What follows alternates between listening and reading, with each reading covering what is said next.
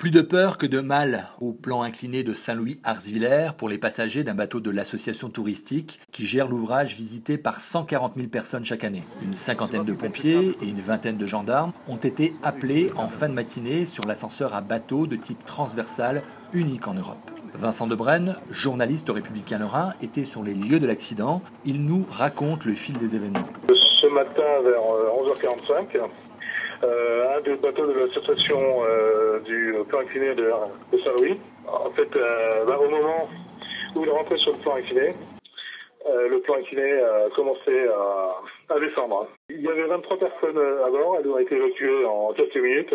Aucune n'a été blessée. le choc a été assez peu violent. Bah, en fait, il faut aussi noter le réflexe du, pilote du qui, euh, y avait un dysfonctionnement sur le plan incliné, a immédiatement fait marche arrière, et ce qui a permis euh, ben, peut-être d'éviter de, plus gros dégâts et peut-être une secousse plus importante euh, pour les passagers. Les populations les plus exposées ont été mises sur les hauteurs, notamment à la mairie de Lutzelbourg et à salle des fêtes.